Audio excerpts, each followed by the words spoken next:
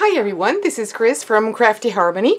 So in today's video it's going to be a very short tutorial because I would like to show you how you can make your stamps stick again to your uh, stamp sheets because when they're starting to be old, even though you've cleaned them over and over again, they tend to fall.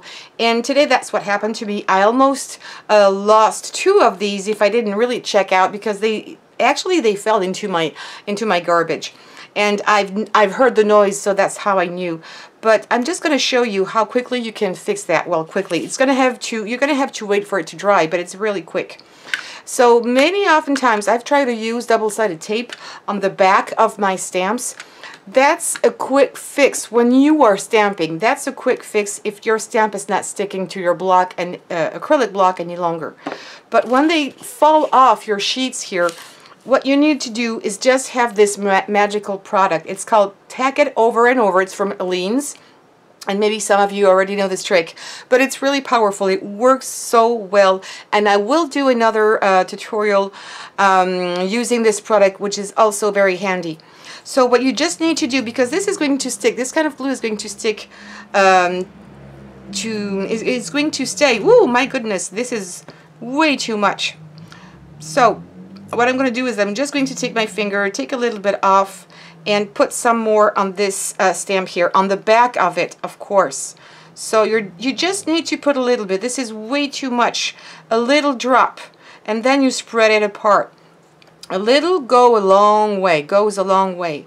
So just a little bit here. Let me uh, do a little uh, close-up here. So I'm taking away that because this is way too much.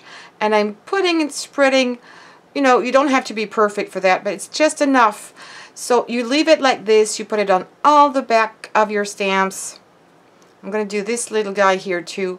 And you're going to wait overnight. That's the best way to do it. You're going to wait overnight for uh, all your pieces to wait so you can do a, a whole bunch. And I'm going to keep on doing this with my big ones here while I'm talking to you and I'm going to leave them like this overnight and then tomorrow morning I'll be able to come. It's going to be sticky. It's going to go back on my sheet here and it's not going to go anywhere. And I won't be able to use to lose them any longer. So that's a fix uh, a quick fix. That's what I already have done to these yesterday and now they're I mean they're really they're really sticky.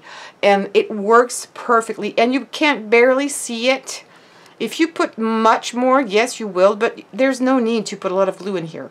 So that was my tutorial for today, a very quick one, but I think it will be very useful because I've lost too many stamps this way, and I think I wanted, to, I just wanted to share this one with you. So there you have it. Tack it over from Aleene's.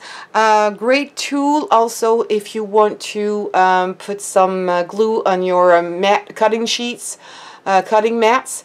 You know, if you're using Cricuts, that's a great one too. I will show you that also. There's a few more tricks with Tack It over and over. So yes, please, if you did enjoy this video, give me some thumbs up. And don't forget to subscribe to this video and hit the bell button to get notifications every time I post a new one. And also share on social medias.